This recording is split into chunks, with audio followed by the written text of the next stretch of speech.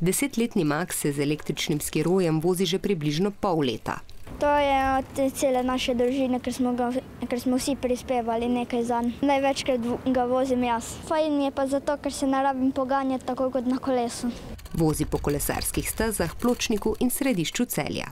Naj nekako se gibajo s hitrostjo pescev. Ne. Če srečam pešca ali kogarkoli drugega, se mu jaz umaknem. Mama Maxa vedno opozori: ne divjaj. Z električnim skirojem se ne smemo voziti po cestišču, sploh za mlajše je lahko zelo nevarno. Čez prehod za pešce moramo skiro potiskati ob sebi, ko ga ne uporabljamo, ga parkiramo tako, da ne uviramo drugih. Pa tudi sicer naj bo varnost na prvem mestu. Izpravnost, vidnost, luči, odsevniki, podobno kot za pesce, zelo svetujemo ali pa rečemo, da je obvezna zaščitna čelada. Zato, da se ne poškodujemo padcu. V Nemčiji so vožnjo z električnim skirojem za mlajše od 14 let prepovedali, nova pravila pa se nam obetajo tudi v Sloveniji, a še ne vemo, kakšna bodo. Imam prijatelja, s katerim se vozim z električnim skirojem, oba dva imamo čelade, vozimo se pa po naši ulici.